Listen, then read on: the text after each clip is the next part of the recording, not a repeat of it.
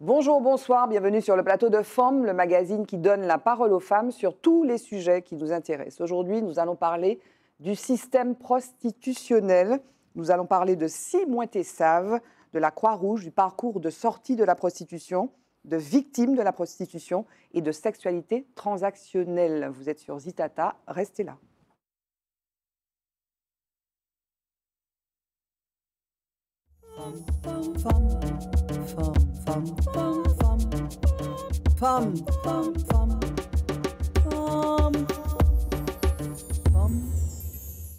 Voilà, le sujet est important, le sujet est sérieux, mais j'étais en train d'essayer de réchauffer mes invités là pendant le, générique de début. En tout cas, merci d'être là, chères téléspectatrices, chers téléspectateurs, et puis merci à vous, chers invités.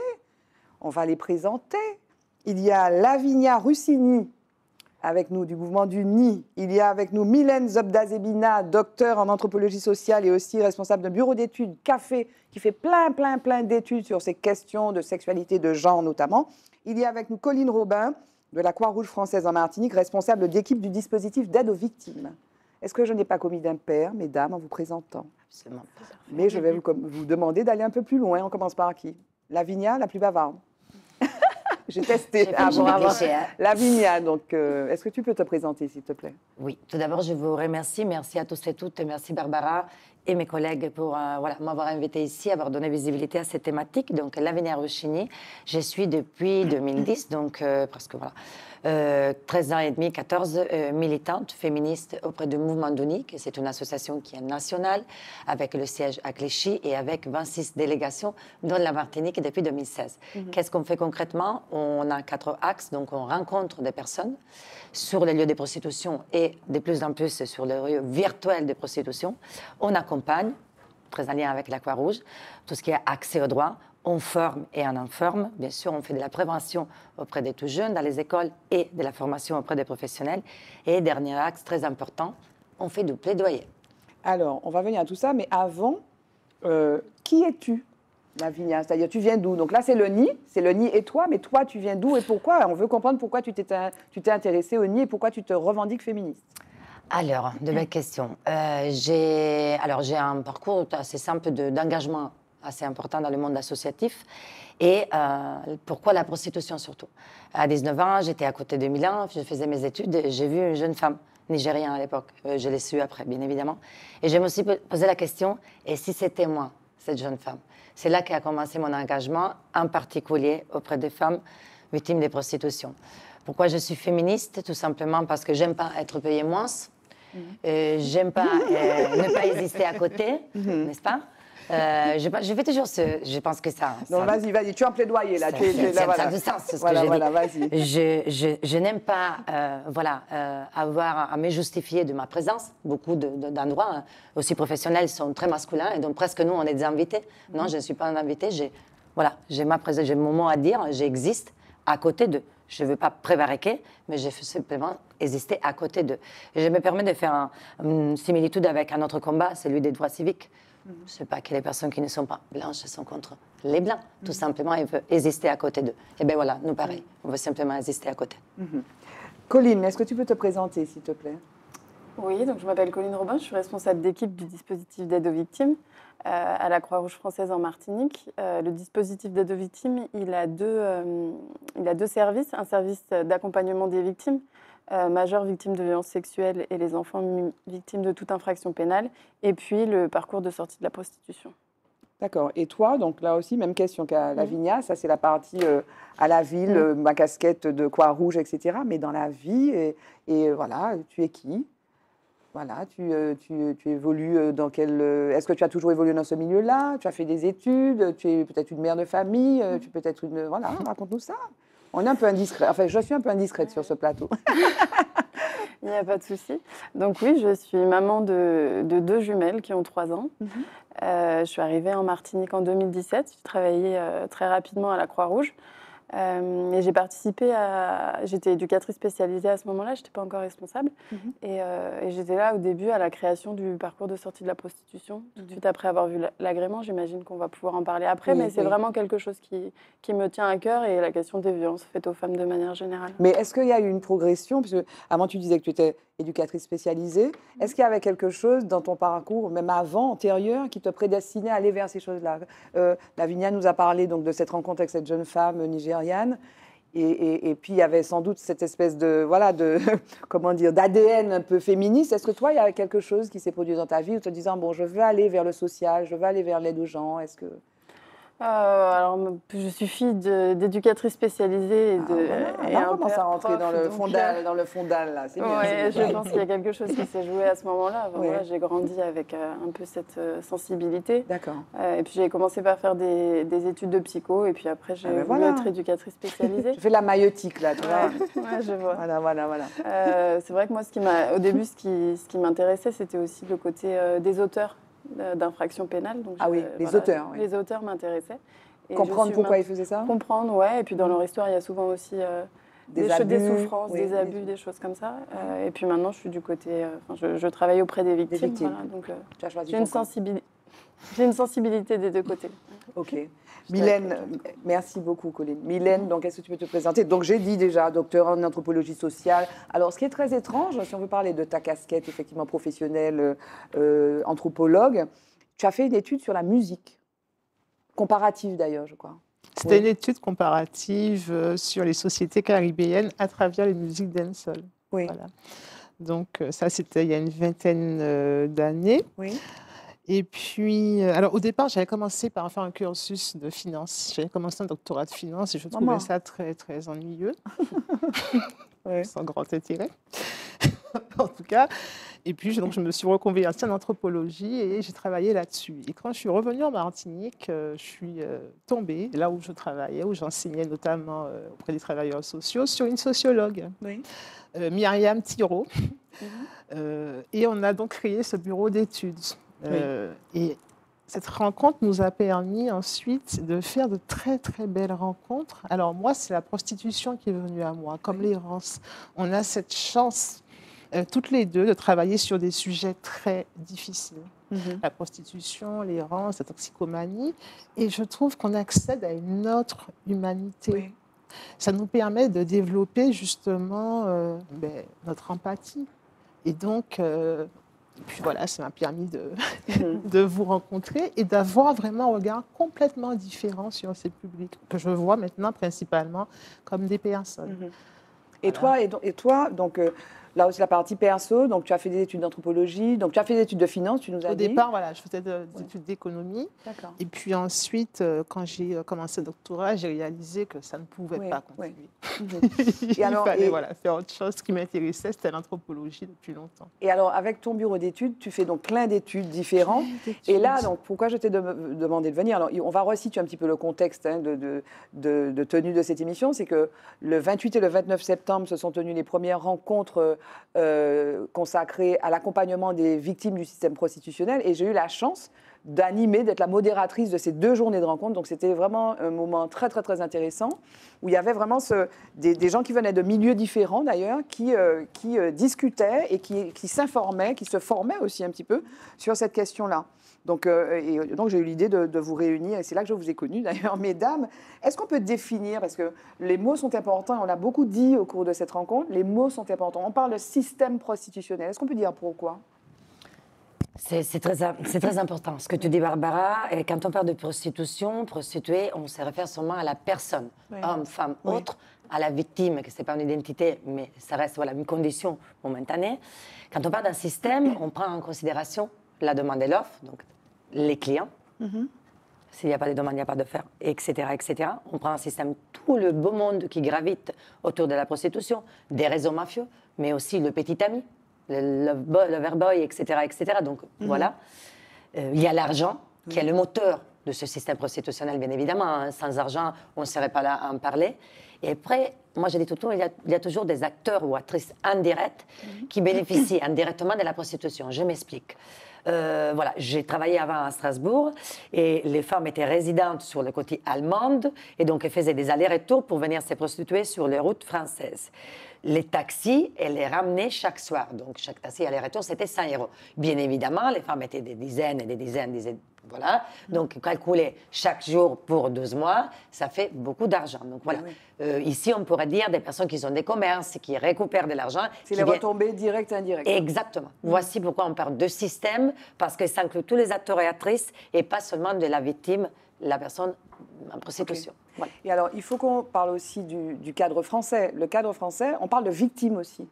Et la prostituée ou le prostitué est considéré comme une victime. Ça, c'est important, en fait. Et moi, je l'ai appris aussi. Il y a une fameuse loi qui est la loi du 13 avril 2016, qui est un peu la base, l'alpha et l'oméga de la façon dont on considère les gens, n'est-ce pas? Je vois, je vois, j'ai bien appris ma leçon.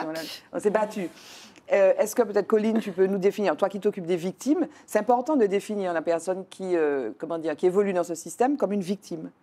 Et tu les accueilles. Oui, euh, bah, c'est vrai que la loi de 2016, elle est vraiment venue changer la manière dont on perçoit le regard qui est porté à une personne en situation de prostitution qui est considérée comme victime, mhm. qui est du proxénétisme ou pas. Et le délit de racolage, par exemple, n'existe plus depuis 2016 mhm. et c'est le client qui peut être poursuivi. Donc ça vient vraiment changer le, regard et à, cette occasion, donc il y a des commissions qui ont été... Euh, euh, instauré euh, normalement dans tous les départements, et la création des parcours de sortie de la prostitution pour permettre à ces personnes qui sont victimes de la prostitution d'en sortir. sortir Tu dis qu'on s'est battu, donc le mouvement du nid avec ses plaidoyers, avec donc a vraiment d'autres associations. Euh, il y avait vraiment un pléthore d'associations euh, partout en France, etc. On a fait du plaidoyer auprès des élus locaux jusqu'à l'Assemblée, le Sénat. Ça a été très complexe. Il y avait des allers-retours. Rappelez-nous qu'il y a au Sénat, et voilà, hein, c'est une majorité d'hommes, hein, et clairement, on s'en sert dans ce, dans ce contexte. Et après dix ans de plaidoyer, on a enfin euh, réussi à faire adopter la loi. Il y a un pays qui est pionnier, la Suède. La Suède. C'est vrai que le système, en, quoi, en quoi il est vraiment euh, le, comment dire, le point ultime enfin, qu'on pourrait atteindre d'ailleurs en France, même si la France a fait des progrès, bien entendu. Énormément, énormément. Et je pense, oui. avec la France, pas que la France, mais toute l'Europe. C'est vrai, moi, je, suis d'accord avec Colline quand elle dit on a renversé la charge. Mhm. C'est-à-dire qu'on a finalement, enfin, euh, on allait regarder du côté de la demande on allait agir sur la demande. si on a des personnes qui sont exploitées, je répète, hommes, femmes, autres, peu importe, c'est parce qu'il y a une demande. Et donc, la, pénalisation du client est encore mieux parce qu'il y a tout un pilier qui parle de prévention, formation, donc sensibilisation au tout petit. Parce que quand ils sont grands, c'est déjà plus complexe, mais c'est là qui est intéressant. On a changé de regard et je pense que c'est ça vraiment euh, l'aspect innovateur, pas tant pour nous, mais pour les enfants de nos enfants. Ok. Et juste comme euh, tu, en parles, je voulais juste signaler au moment où on, tenait ces premières rencontres, donc quelques temps avant le 15 septembre, probablement sous l'effet des plaidoyers divers et variés, notamment du mouvement du entre autres, donc le, Parlement européen a adopté le 15 septembre un rapport sur la réglementation de la prostitution dans l'Union européenne, qui deviendra une résolution européenne. Et ce vote reconnaît les personnes prostituées comme des victimes de violences et appelle les États membres à aller vers l'abolitionnisme. Mmh. Donc la France et abolitionniste. La France veut éradiquer ce phénomène de ce système prostitutionnel et dit donc le modèle nordique, euh, donc le modèle nordique dont tu parles.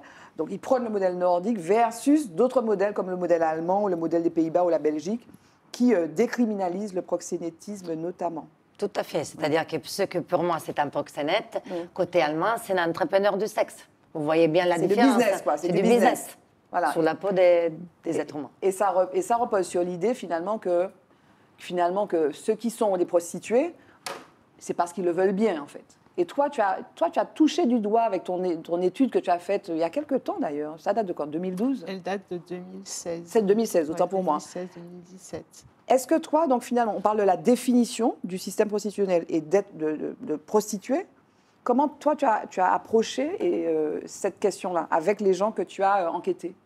Alors, en fait, nous sommes partie de la littérature sociologique qui, effectivement, euh, distingue la prostitution euh, qui est soumise à une définition stricte.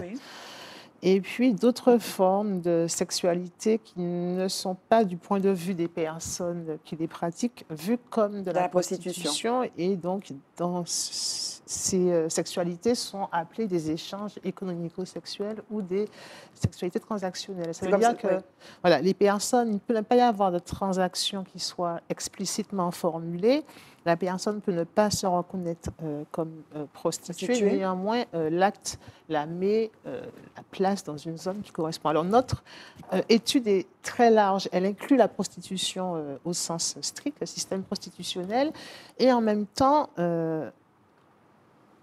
des pratiques qui s'insèrent dans le quotidien et qui questionnent plus Par les exemple, rapports de genre.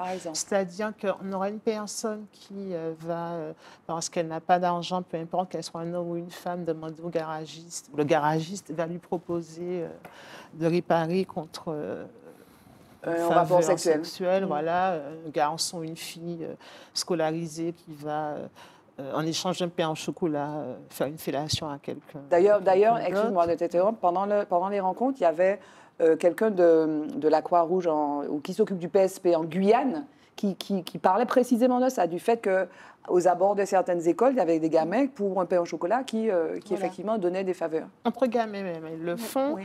Euh, ce peut être aussi des femmes qui, parce qu'elles sont des hommes, des jeunes hommes par exemple, qui ont euh, une sexualité euh, euh, différente, qui, euh, parce qu'ils sont rejetés, vont se mettre en couple avec un partenaire qui est euh, abusif. Donc, on a essayé d'approcher ces personnes à travers. euh, enfin, on, avait, on a multiplié les outils de recueil de données pour pouvoir essayer de toucher ces publics-là. Alors, je voulais juste euh, Oui, faire revenir sur, un- sur un point euh, qui ne remet absolument pas le fait que les personnes qui, euh, qui ont des sexualités transactionnelles sont des victimes. Mais ça me paraissait quand même important de nuancer simplement parce que quelques-unes de ces personnes-là ne sont pas dupes. Elles savent Oui. très bien qu'elles sont des victimes, mais elles s'accrochent à l'idée où c'est elles qui finalement décident. Alors pourquoi j'insiste là-dessus? Oui. C'est qu'en fait, j'ai toujours peur que nous, qui appartenons à une société bien pensante, qui n'avons pas les problématiques que ces personnes-là ont, que ce soit nous qui parlons à leur place. Oui, oui, Je oui. pense qu'il faut leur rendre la parole, Mhm. respecter ce qu'elles disent. Et quand bien même nous, quand on analyse, on sait que ces relations sexuelles s'insèrent dans des rapports qui sont des rapports de domination d'un groupe sur un autre, qu'il y a la vulnérabilité de ces publics-là, c'est leur faire aussi euh, offense Oui. que de ne pas entendre ce qu'elles disent et ne pas restituer leur Considérer, parole. oui. Voilà. C'est-à-dire que, c'est-à-dire que ce que tu es en train de nous dire, on n'a pas à être condescendant parce qu'on est des sachants et regarder ça de très loin. Il faut écouter ceux qui disent Je sais que. On me considère, même dans le système français, on l'a dit, hein, le système français est abolitionniste. Il y a cette loi de 2016 qui les considère, ces personnes, comme des victimes. Mais je suis, je suis active, entre guillemets. Je suis actrice de ma Actrice, vie. voilà, Et actrice, si on ne donne pas à ces personnes, c'est la seule chose Oui, qu'il leur reste, oui. cette possibilité de se projeter comme des personnes qui décident de quelque chose. Et si nous, on leur ôte ça, en fait, c'est une, autre violence. Oui. C'est une violence symbolique Oui. qu'on leur inflige.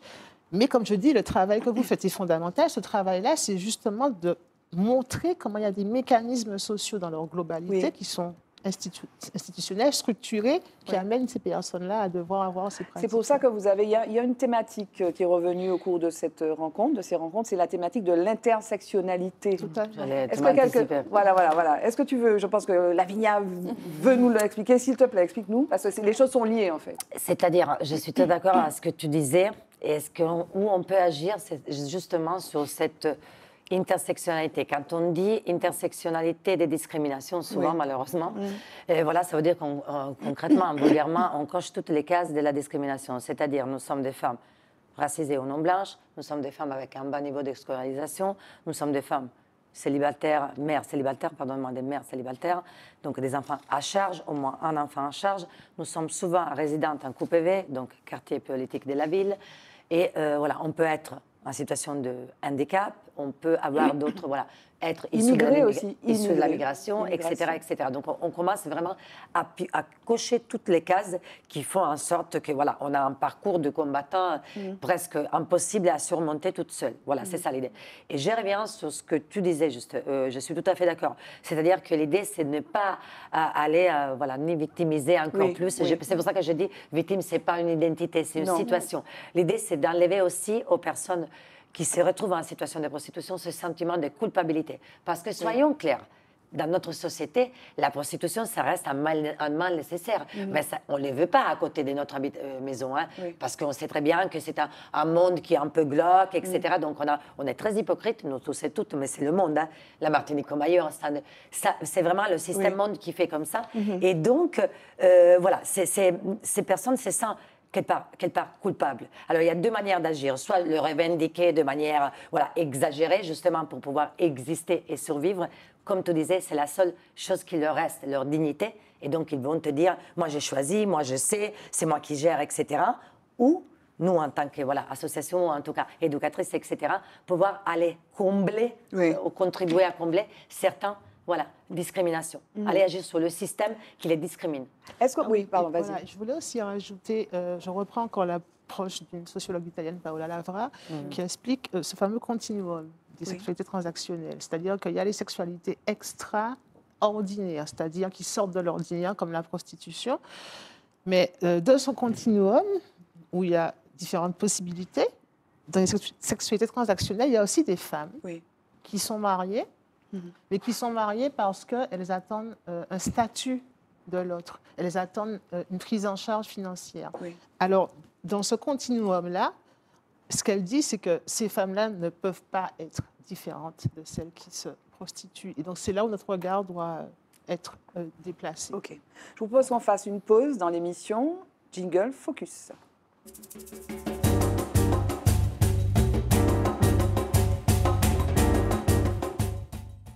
Alors, dans Focus, je voulais vous parler de la sortie du nouveau livre de Camille Aumont-Carnel. On la connaît parce qu'elle a créé un hashtag. Je ne sais pas si vous avez entendu parler de ça, je m'en bats le clito. Ça vaut, euh, voilà, c'est direct. Je m'en bats le clito. Euh, féministe convaincue, donc elle a déjà publié, euh, elle avait déjà publié des ouvrages, mais là, en octobre, elle a sorti un dictionnaire. Ça s'appelle Les mots du cul. C'est sorti dans une collection euh, lancée par euh, le dictionnaire Robert.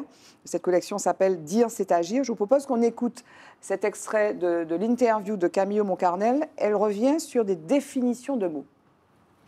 La zone grise. Eh bien, la zone grise, c'est une expression que je vais vous lire parce qu'il n'y a pas beaucoup d'espace pour l'improvisation, tellement, euh, comme son nom l'indique, c'est flou. Et je pense que c'est important, notamment dans ce genre de termes, de pas forcément en parler de façon spontanée, mais de reposer un cadre. La zone grise de la sexualité, c'est tout ce qui se situe entre le oui très clair et le non très clair également. C'est tout ce qui est grisé, un peu flou. Elle résulte de toutes les pressions, les hésitations que peut subir une personne au moment d'un acte sexuel et qui peut entraver son consentement. C'est aussi le moment où on change d'avis au sujet d'un rapport et où on se retrouve ensuite souvent dans l'incapacité ou gêné de dire Euh, non, stop, j'ai envie qu'on arrête. Car oui, on peut vouloir rebrousser chemin en plein milieu d'un rapport. La zone grise, ce sont ces rapports conjugaux qu'on n'interrompt pas et durant lesquels on se dit j'ai plus envie, mais je continue quand même. Oui, on peut rebrousser chemin en plein milieu d'un rapport.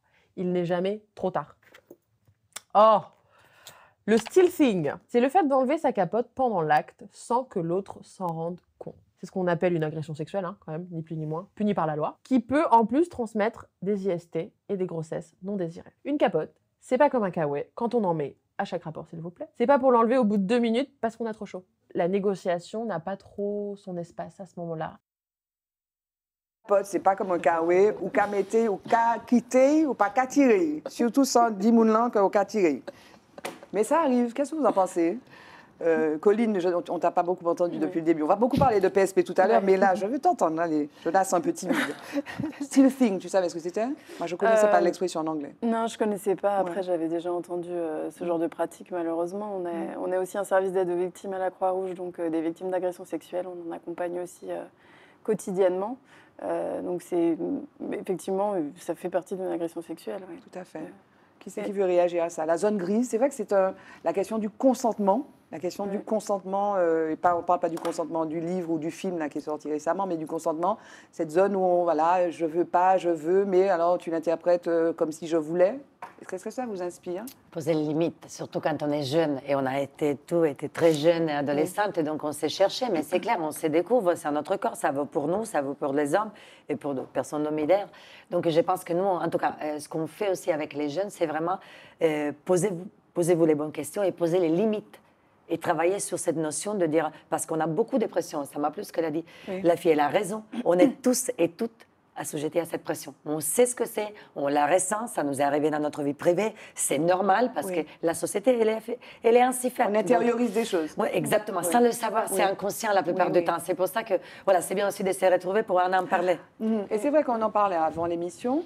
Je disais, mais est-ce que les jeunes, par exemple, le fait de, pour une jeune femme d'assumer un non, j'ai pas envie, je dis non. Est-ce que c'est plus simple aujourd'hui? Est-ce que ces femmes, par exemple, qui, sont, qui, ont, qui donnent l'impression, notamment en marketing, d'assumer plus leur corps, sont plus dans ce rapport finalement d'assomption d'une autorité par rapport à un homme? Je dis, je te dis non, c'est non.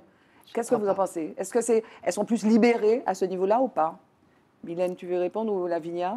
Mylène? Hmm, C'est compliqué. hein. Est-ce que, tu as- est-ce que tu as subtil. étudié ça déjà, toi? Euh, Plus ou moins.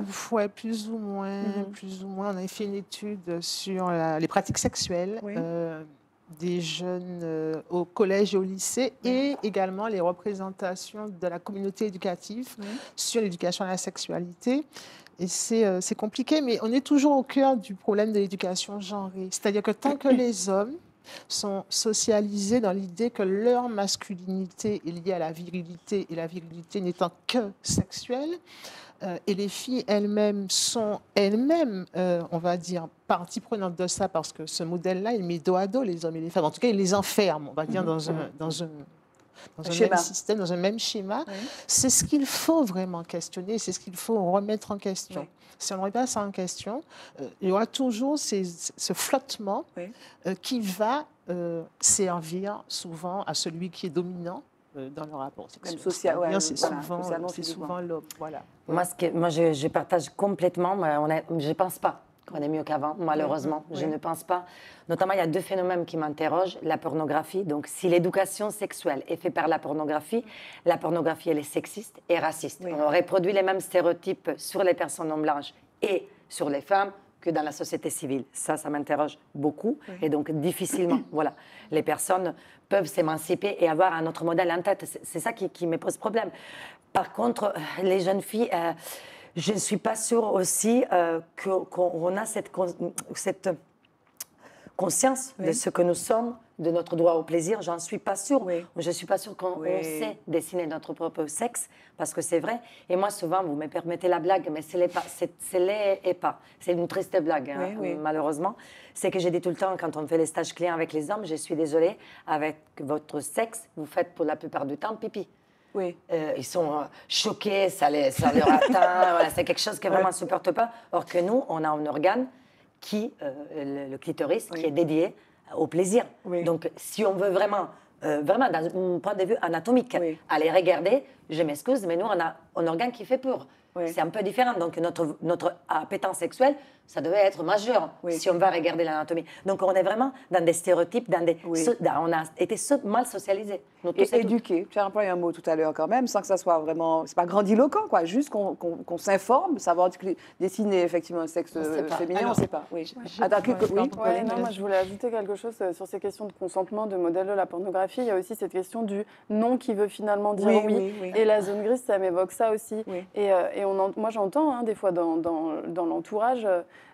euh, une personne qui a été agressée sexuellement mais qui ne s'est pas défendue. Oui. Bah, ça veut dire qu'elle était d'accord. Et avec une méconnaissance de- de- des mécanismes Bien de sûr. sidération qui font qu'à un moment donné, Tu peux Euh, rien dire. on Et ne oui. peut pas, la, la personne elle est figée, elle n'a pas de réaction et ça ne veut, ça veut pas à aucun moment dire qu'elle est consentante. Parce que Et y en tout cas, ce- oui. Ouais. Les victimes de viol l'expliquent d'ailleurs. Il y a cet effet de sidération où elles, s'extraient de leur. Elles sont obligées de- de- d'éluder le moment Et parce- vécu parce que c'est Mhm. trop douloureux, bien entendu. est figée, elles ne Oui. peuvent pas réagir. Et c'est Mhm. pas parce qu'une personne ne va pas se défendre physiquement quand elle est agressée qu'elle était consentante. Et ça, je trouve que c'est vraiment quelque chose qu'il faut déconstruire. euh. Oui. notamment auprès des juges, des forces de l'ordre, quand on est en face à des, à des, après des tribunaux, etc., Oui. des procès, on n'en prend pas en compte. Oui. Mais Hélène, tu voulais rajouter quelque chose Ou pas? Non, ou pas. Ok. Jingle, mot de femme, on va continuer. Prostitution.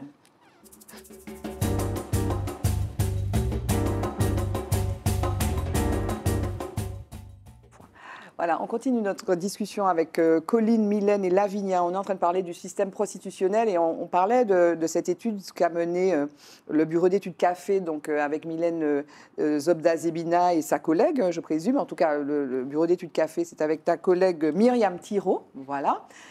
J'avais une question sur, précisons, le nombre de personnes. Alors, je pense que c'est compliqué, mais combien de victimes de la prostitution du système prostitutionnel on peut évaluer en Martinique? Est-ce qu'on sait?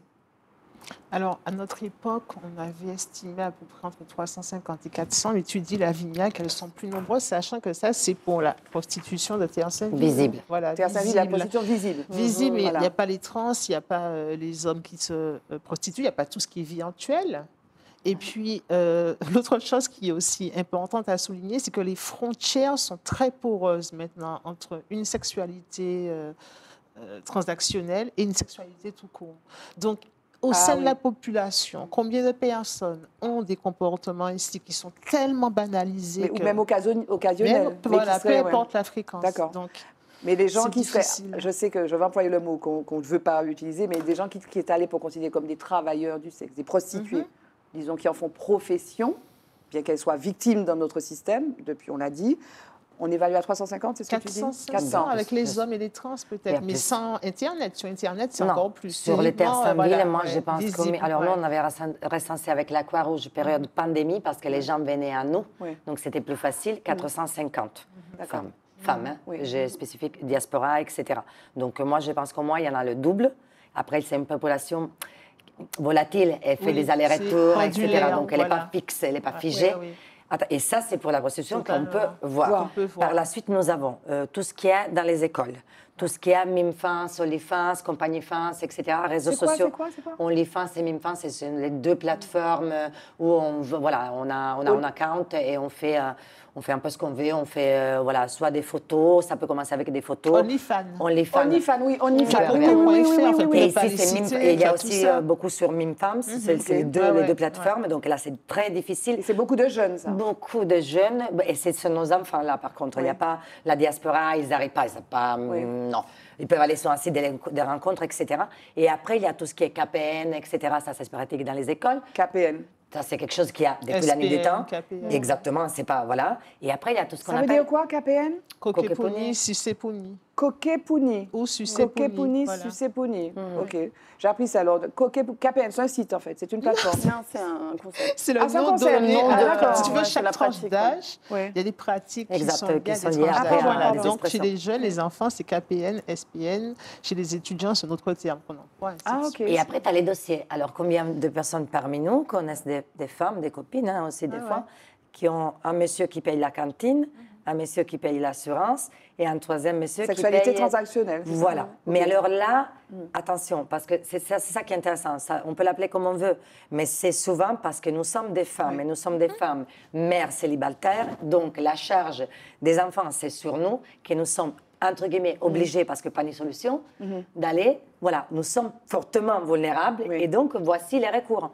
Attention. Et puis ça questionne les moyens qui nous sont donnés Mhm. pour nous en sortir. Parce que je ne sais pas si tu as remarqué à Théa-Saint-Ville, le nombre de femmes qui sont lettrées, qui ont des diplômes, qui parlent plusieurs langues, qui pourraient travailler n'importe où comme employés, qui pourraient, alors que les seules Mhm. euh, possibilités qui leur sont laissées, Par le système. C'est ça, voilà, par le système. Parce que c'est un ça, système. oui, Colline, parle-nous maintenant du PSP, donc parcours euh, De sortie de la de sortie de la prostitution. J'ai eu un bug là, le S, le S.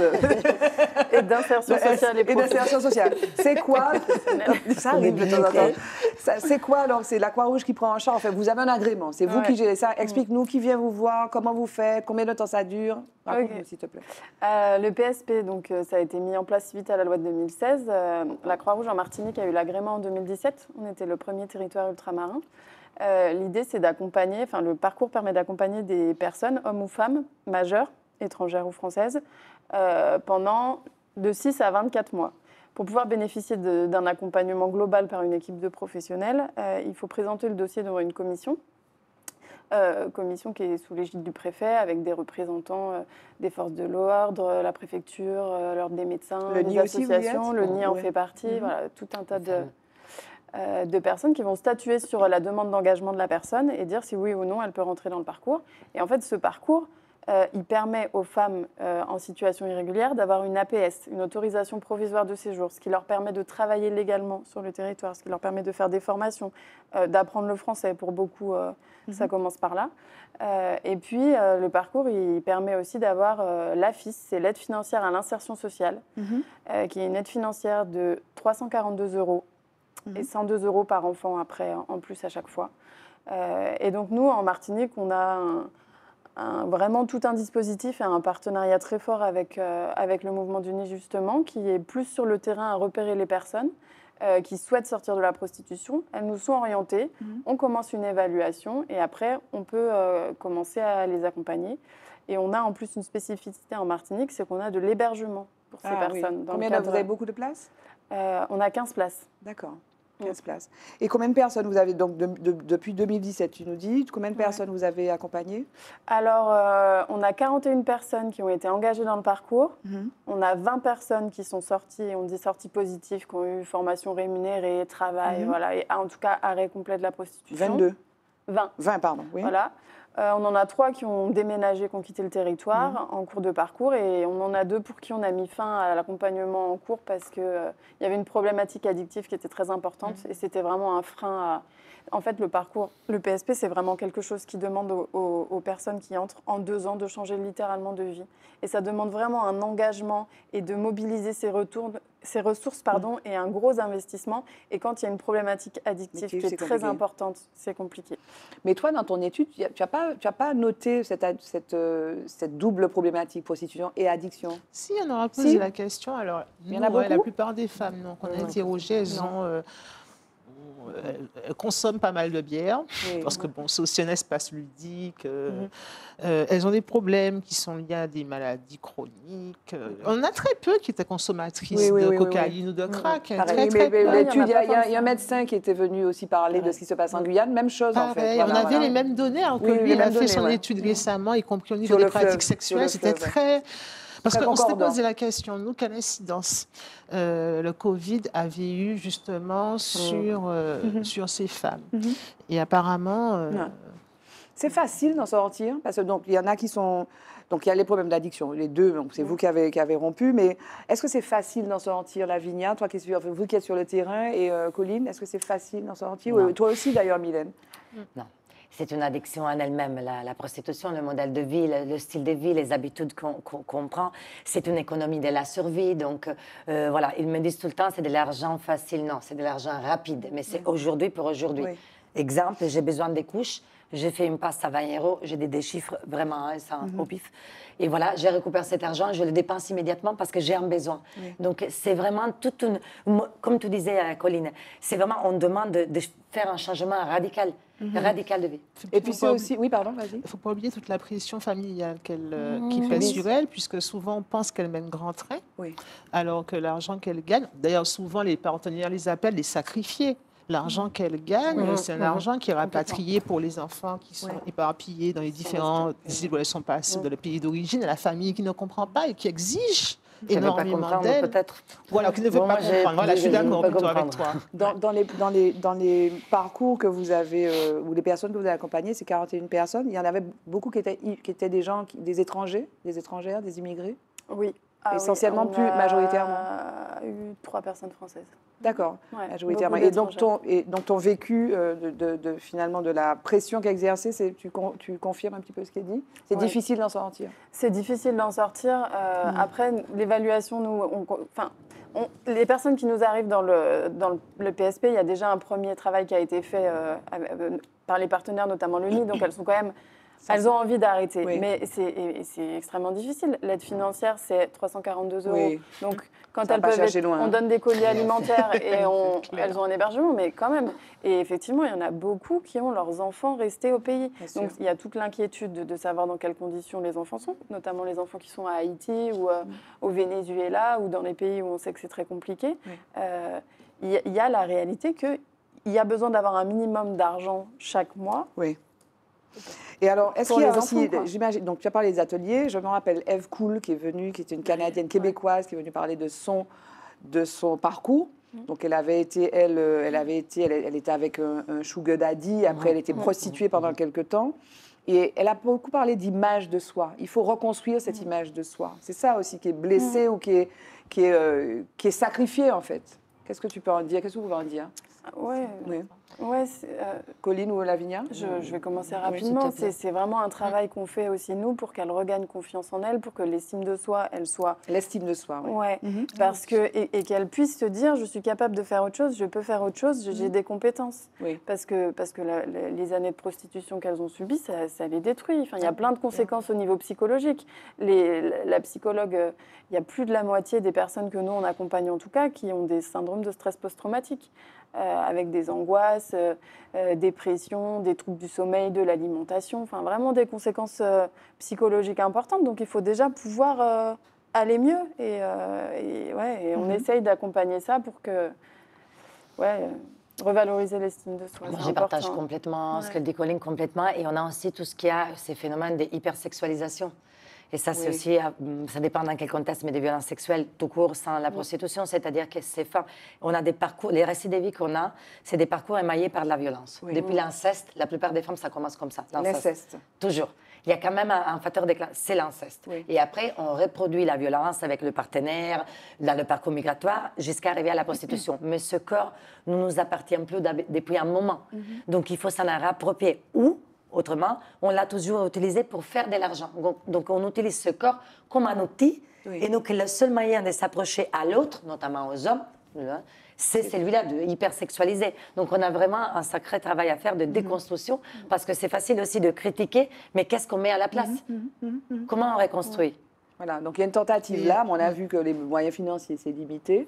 Heureusement, tu as parlé des sorties positives, donc il y en a quelques-unes. Bah, c'est une Euh, grosse 20 sorties positives. Ouais, c'est une grosse majorité parce Oui. que en fait, euh, j'ai dit 41 personnes engagées dans le parcours, 20 qui sont sorties positives, les 5 autres, et le reste, c'est qu'elles sont toujours accompagnées. Oui, Voilà, c'est pas qu'il y en a la plutôt, moitié ouais, qui sont des sorties Oui, oui, oui, négatives. c'est bien. Ouais. Et alors, moi, je voudrais qu'on parle, parce qu'il nous reste 10 minutes, qu'on parle de Simon Tessave.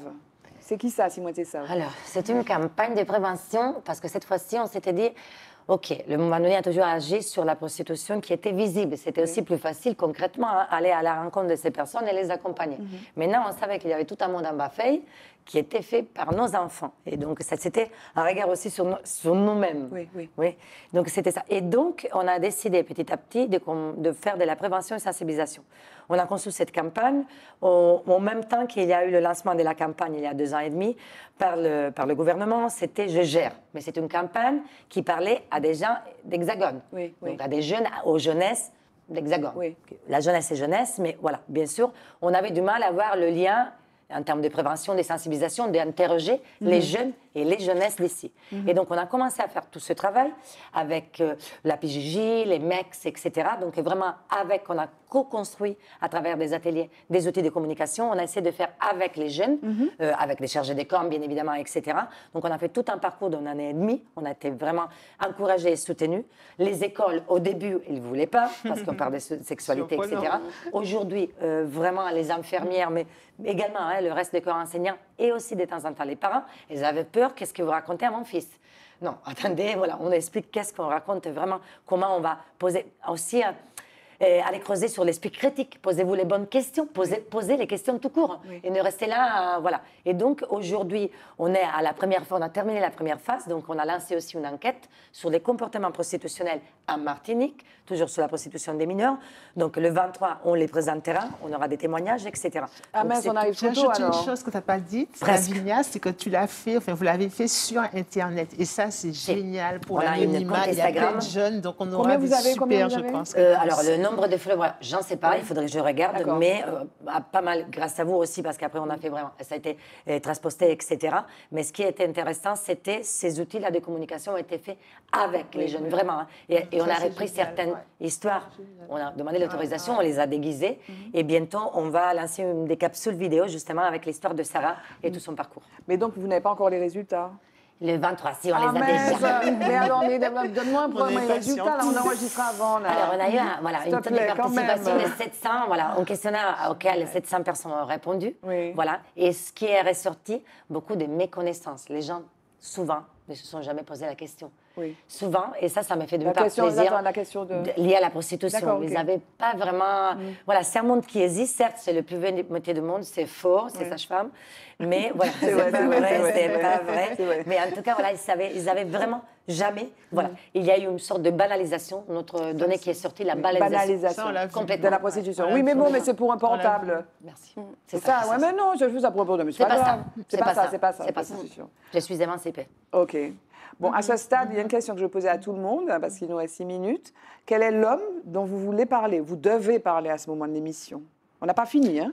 Alors, moi, je vais parler des prostituées, parce que ce qu'on a dit, c'est-à-dire que ce corps de souffrance concerne toutes les personnes, que ce soit de la prostitution visible, invisible, des sexualités transactionnelles. Toutes ces personnes-là, elles ont d'énormes blessures euh, personnelles, narcissiques, une mauvaise image d'elles-mêmes, qu'elles soient trans, qu'elles soient euh, HSH, c'est-à-dire des hommes. Seule exception, HSH, HSH. Hommes des hommes qui ont des relations avec des sexuelles hommes. avec des hommes. Les seuls qui, qui n'ont pas, enfin dans notre échantillon, été concernés par ça, c'était les hommes hétérosexuels Oui. qui ont des relations sexuelles et qui, eux, euh, c'est pour eux une reconduction à nouveau d'un modèle hétéronormatif où pour eux la sexualité est une zone de plaisir et une source d'argent. Donc voilà, moi c'est ces hommes-là Oui, dont je veux parler Oui. et qui sont de plus en plus sollicités par euh, Par tout le monde? par tout le monde. Et ce faisant, de côté, c'est bien parce que ça montre que les femmes, elles aussi, sont des demandeuses euh, De plaisir. de plaisir, mais de notre côté aussi, ça se fait dans un cadre qui ne remet pas en question, finalement, euh, le modèle hétéronormatif. Alors parlons, Voilà. parce que là, c'est la- l'anthropologue scientifique qui parle. Non, non, ah non, non, vulgarise un petit peu. Concrètement, j'aime bien les exemples.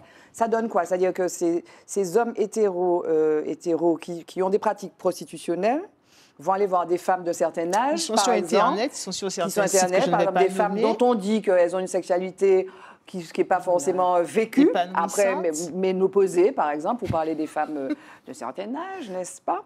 Euh, Et donc, elles- ils, ils font, ils font commerce de, de, de leur Ce sont, voilà, sexualité. ce sont des hommes qui travaillent, qui ont une activité souvent et qui euh, ont une appétence sexuelle, qu'ils revendiquent parce qu'ils sont des Mais hommes, ils donc ils peuvent se le permettre. Et Ah. donc, ils vont sur des sites et ils proposent leurs services. Et Mais ces c'est des gigolos, ces gens-là. Alors, peu importe le terme qu'on Oui, leur oui. donne. Voilà, c'est ça, c'est que on revient au fait que selon le genre, selon l'âge, il y a un terme. qui Ok, est- ok. Mais c'est la même chose, que ce soit euh, gigolo Voilà, ou pas, c'est la même chose. Il faut aussi questionner euh, les termes. Et ces hommes-là, justement, eux, euh, ils, comment dirais-je, ils, euh, Ils se disent pas victimes, par exemple, pour le coup. ils ne se disent mais pas- Voilà, ils ne sont pas, à mon avis, euh, des victimes. Oui, oui. Et je ne sais pas comment expliquer, mais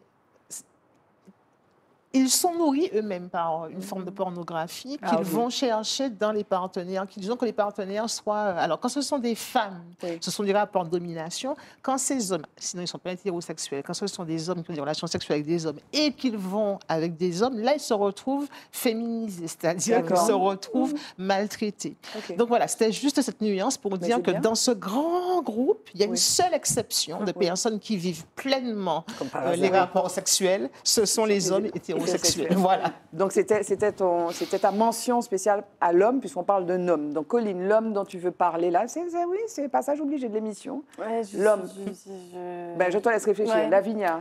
Le homme. client, le rôle du client.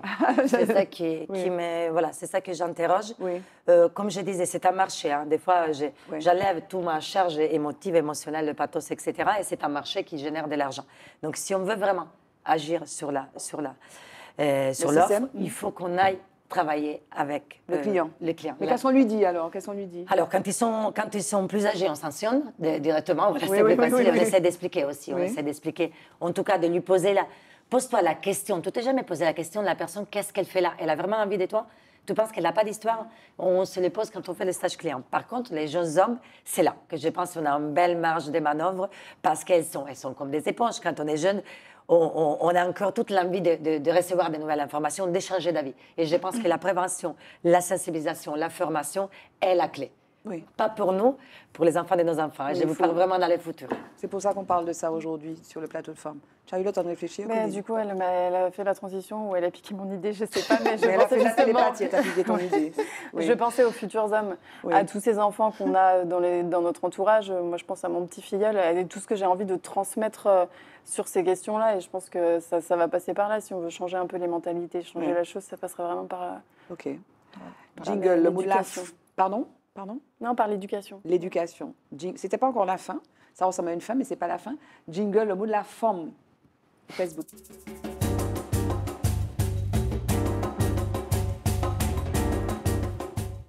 Voilà, on est arrivé au terme de l'émission. Il nous reste deux minutes. Le mot de la fin, ce serait quoi? Il faut Ah. éduquer différemment les euh, hommes et les femmes.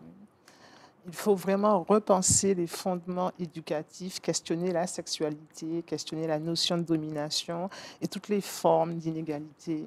On l'a fait où, Mylène on On fait où? Pour moi, on devrait le faire avec des cours de philo et de sociaux dès la maternelle. Il y a des écoles où ils ne le font pas en France, mais Oui. c'est une nécessité parce qu'on est au, au cœur de problématiques qui sont fondamentales en Voilà. termes humains, tout comme les problématiques environnementales le sont. Oui. Donc, questionner le rapport au genre, le rapport à la sexualité, le rapport au corps et les rapports entre les hommes et les femmes. Tu as écrit donc euh, Les sexualités en Martinique, la survivance de la police du genre. C'est sorti déjà, c'est sorti. Ok. Et euh, voilà, l'ordinaire des, des Amériques, j'ai vu ça. Oui, on a fait beaucoup d'articles à 2 mai ou à 3 mai, puisqu'on Voilà. parle, on travaille parfois au sexe Sylvie Merle, qui est euh, médecin, qui est la directrice observatoire de santé de Martinique, qui apporte parfois la caution scientifique sur certaines, euh, sur certaines études. Ok. Bon, avec toi, même si tu n'aimes pas ça, mais je sens qu'il y a tellement de sujets que- sur lesquels il faut qu'on te mobilise. Ou Kérivini. Lavinia, le mot de la forme, le mot de la fin, ce serait quoi Alors moi, pour moi, c'est vraiment, c'est nous qu'on doit en prendre conscience. Avant les autres, avant Oui. d'informer, etc. Tant que nous, on ne sera pas consciente, qu'on ne joue pas. Nous, femmes. Nous, les femmes, nous, Oui. toutes, hein, nous, les femmes, peu Oui. importe d'où, quelle couleur, quelle longitude, latitude, ça ne m'intéresse pas. Mais on ne joue pas sur le même. Quand on joue, on n'est pas égal, égal. Il y a une notion d'équité qui n'est pas présente. Oui. Et donc, tant que nous, on ne sera pas conscientisés, et une fois que tu sais, il faut que tu agisses aussi, mais dans le quotidien. Hein. Ce n'est pas les grandes révolutions, on n'en fait pas en ce moment. C'est jour le jour avec ta collègue, avec, voilà, dans des espaces aussi comme ça, c'est une manière d'agir. Moi, je pense que tant que nous, on ne sera pas consciente, et ben, si on ne sait pas conscient, on ne peut pas agir. Et donc, on va reproduire, parce que nous sommes les reines de la reproduction de ce stéréotype, et de ce modèle dont Ouais. tu parlais, dont on a parlé. Donc, c'est à nous à jouer. C'est à nous. Euh, Colline, le mot de la forme. Euh, moi, j'aurais envie de dire que c'est possible de sortir de la prostitution et que les personnes qui sont dans ces situations et en souffrance et en réelle souffrance, il y a quand même des solutions, c'est possible, elles peuvent être accompagnées, même Voilà. si c'est un petit peu sur la totalité des personnes qui sont dans cette situation en Martinique. Mais elle doit faire le pas. Elle doit faire Ouais. le pas, même si vous allez sur le terrain. Donc, on va rappeler peut-être donc Mm. l'Aqua-Rouge française, donc euh, l'antenne de l'antenne d'accueil et d'accompagnement. De, c'est où d'ailleurs? Il y a un site internet, je présume? Euh, alors, il, il vaut mieux nous appeler. Oui. Il y a un numéro? Non, donnez le numéro, c'est le bon. Oui, 0596 39 10 08 et on est situé à Dillon, euh, dans Voilà. la cité avenue Jacques Roumain, donc le lieu d'accueil de jour avec le dispositif d'aide aux victimes. Voilà, Voilà. 39 10 39 10 08. 39 10 08, c'est un fixe. Et puis le mouvement du nid. Tout à fait. Il y a un Mm. site aussi? Alors, le site oui national, mais c'est surtout euh, Insta ou Facebook, donc Bombandoni Martinique. Oui. Nous sommes situés au 122 rue La Martine, donc au cœur de la ville de Fort-de-France, Oui. et euh, 06 96 71 66 22 pour nous joindre. 66 22, 71 66 22, c'est un portable. Merci de nous avoir suivis. Merci Colline, merci Lavinia, merci, Merci. Mylène. Merci Barbara. euh, d'avoir été sur ce plateau de forme bah, pour euh, aborder, euh, même effleurer, parce qu'on pourrait rester plus longtemps. D'ailleurs, les, le- les premières rencontres, ça a duré deux jours. Donc nous, on a fait ça en 52 minutes. Merci à vous d'être venus sur le plateau. Et puis merci à vous de nous avoir suivis. Je vous donne rendez-vous euh, même pour, pour un prochain épisode de Forme. C'est le mardi à 20h05 avec des femmes tout aussi inspirantes et extraordinaires. Wow. Bye bye, merci. Femme. Femme.